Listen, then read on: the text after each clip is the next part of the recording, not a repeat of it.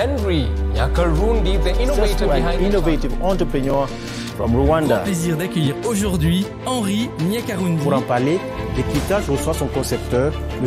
Henri Nyakarundi.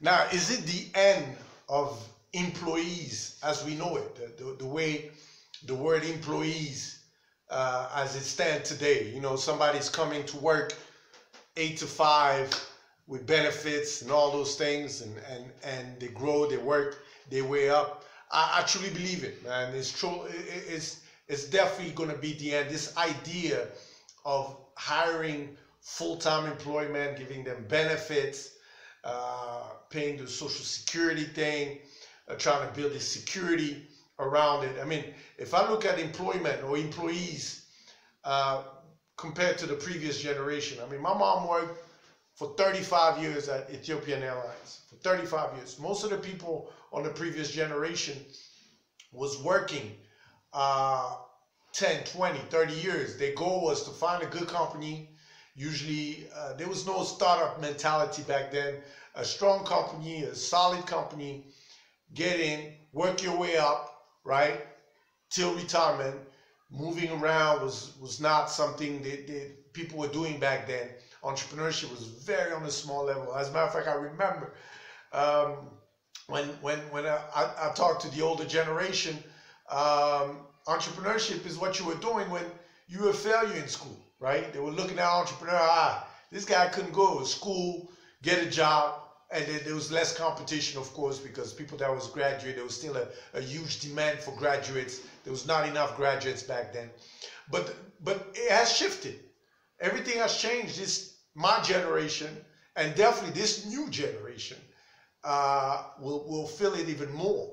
You know, we're talking about this gig economy, but let me go back a little bit about talking about the previous generation. Today, uh, since I started my business, on average, an employee does what, two, three years? Uh, of course, you're if you want to keep the top employees, you have to give them more. People are looking for more. They're just looking for more than just a job. People are looking for more than just uh, a nine to five. They're looking for an experience. They want to be part of something. Um, you know, now you have startups with this startup mentality across the world. You hire employees, so there's more risk because most startups fail. You know, most companies go down and, and close. So it's a risk for the employee. They say on average now, the amount of job you're going to get is between five to 10 jobs in your lifetime. But we talk about gig economy. I want to talk about this or share economy. You know, we have car sharing, or we have uh, a place now we're sharing our place on, on our uh, Airbnb.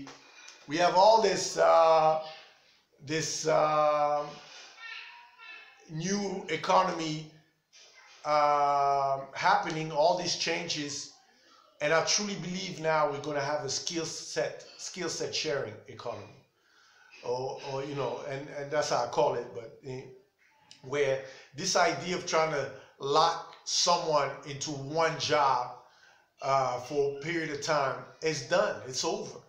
Now you're going to have people trying to get special skill and serve those skills to multiple companies.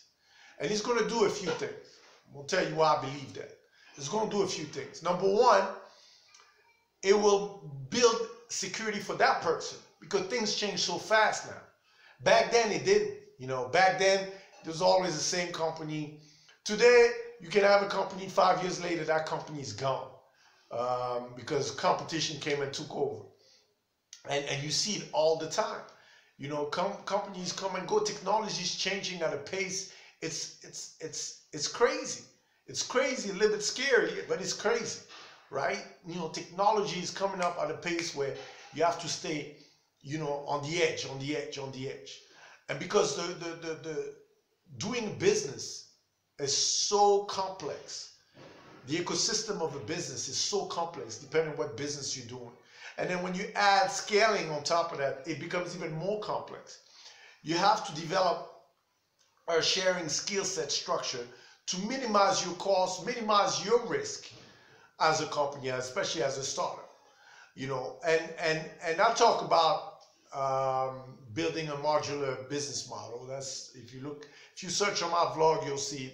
Uh, but what I'm saying is, as an employee, the idea of, of being stuck in one position is done. And I think companies now can come to a, a specialized skill sets group. So let's say, I'll give you a perfect example. I like to visualize things.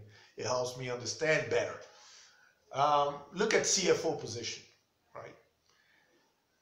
Back then, it would be unheard of for a company not to have hired a CFO internally that works for that company and doing just that job. Now you have what we call specialized CFO uh, companies. They, they, they, they, they, they, comp, they, they organizational companies with specialized financial accounting skill sets. So, you know, they have multiple people, one or two, and then they serve multiple companies.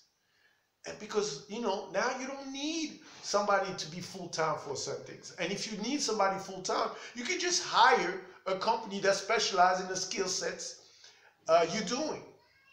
Uh, right? You can hire them part time. You can hire them full time. It lowers, as a business, it lowers your costs and taxes. It lowers your risk when your company goes down or lower, like on the COVID 19 stuff. Then you don't have to hire them. You pause, you tell them. And then for them, for that, I call the employee, but for that group, um, they have multiple customers. So if they lose 10, 20 customers, then, you know, they, they, they may have a few left. Uh, you know, an employee right now, if you lose your job, you lose everything. You only have one job, right? If you cut down your paycheck, so you see now people are trying to do, you know, multiple things at the same time. They work at a job here, they do some freelancing out there. And right now, the space hasn't been defined yet, but this is where it's going, where we're going to have special group skill sets that fits a specific need or specialty, technical, CFO, raising capital, manufacturing, you know, so people to come together to build this group. And then what you're to have is a cluster of groups you can plug in to move much, much faster for your business. So this is the share skills economy that I truly believe is the future. And if you're a young man or woman today, you're about to graduate, you're about to come out of university, right? And you're looking for a job guess what? There's no job out there. There's very little jobs out there. Because uh, for the, especially in Africa, we have uh, four to five times more graduates than availability of jobs out there, right? So you have to remove that mindset of of our, our, our previous uh, uh, the previous generation.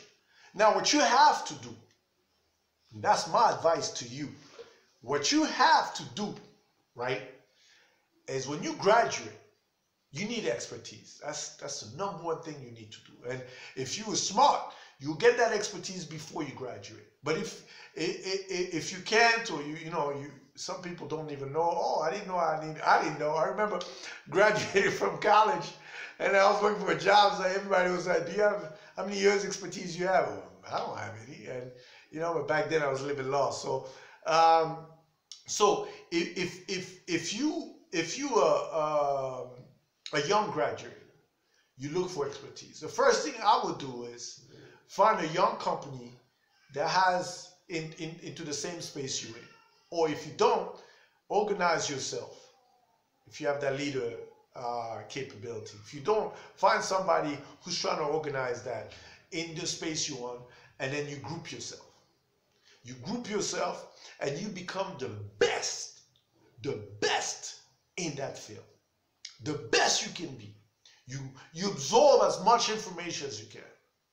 And then now you start looking for jobs. Jobs for the company now. It'll do a lot more. It'll be much, much easier. You know, because now, as I said, companies ourselves, we're looking for that expertise. We don't want to hire all these skill sets ourselves. It's too expensive. You know, the only downfall I see with this, and, and that's what share economy has done, car sharing and all.